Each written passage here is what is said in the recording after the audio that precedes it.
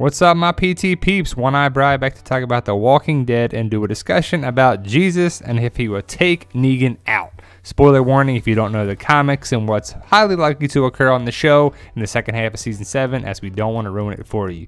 But Jesus, Negan, will they fight? Here we go. So, if you know the comics, you know March to War storyline. Going to talk about issue 114 is the end of March to War into All Out War. And Jesus and Negan have a confrontation. Now, will they stick to it? Will Negan take him out? Will he just beat him up? Will he do whatever? So if you know the comics, definitely know what we're going to talk about. So like I said, issue 114, it's the last part of March to War before All Out War, which will be season 8, and we're excited for it. Jesus, one of my favorite comic characters, he's a badass, and this will be the start of his badassness. Well, I guess continued because we've seen a little bit of it where Negan is going to do another lineup, and Jesus comes out of nowhere, talks some smack to Negan, and it's pretty it's pretty awesome. And I can't wait and really hope that they put this in the show. And Jesus, Tom Payne, was on The Talking Dead, one of the last episodes of the first half of season seven, and we got him training, and we're going to talk about that. We'll show the clip. Actually, it's pretty cool. But like I said, Tom Payne has been training with a couple different people but he was in Los Angeles and he was training with Steven Ho, the guy who taught Morgan how to use the bow staff. He was in Teenage Mutant Ninja Turtles, the the stunt acting part of Donatello in the 90s uh, Teenage Mutant Ninja Turtle videos. Pretty cool. Tom Payne training to kick some ass. Here we go.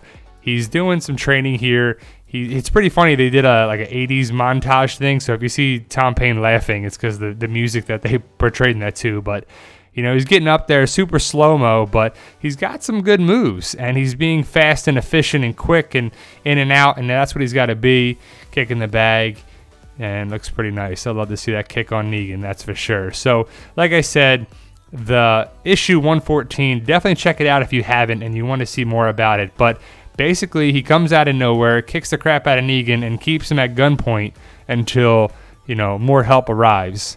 Was is the whole point of it? Now he doesn't kill Negan. He just kind of waits for backup to come, basically.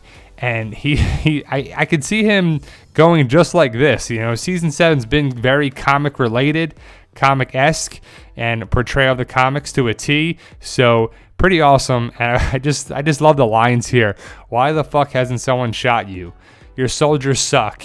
And we haven't really seen the saviors do anything, so they could suck. You know, they just been intimidating and bullying. They haven't really done anything. So that's a good point by Jesus. You know, there's just so many of them.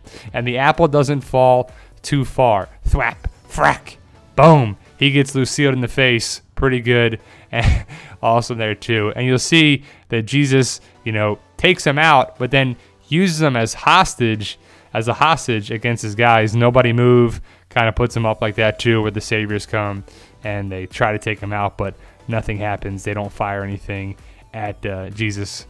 And I don't want to ruin it for you, but that's pretty cool like that too. So he, Tom Payne was vague in the interview saying like, do you think he's going to fight Negan? Or are you, has he been training to do it? And he was like, well, it would be kind of great if it happened. I mean, we're fighting to take out walkers, and that's pretty easy for Jesus. So if he has to fight people, we'll finally get to see that. You know this has to happen. Come on. You know, he but he can't say it. You know, he has to be coy. And you know, that's why you'll get to see why I like Jesus. And Jesus isn't getting too much love. Tom Payne's not getting too much love like Daryl and Rick and Michonne and a couple other people. But hopefully this is the start of it, especially when he saves the group's ass here. You know, he's gonna more Jesus is gonna be good on the show for sure taking out some walkers. He's pretty hilarious.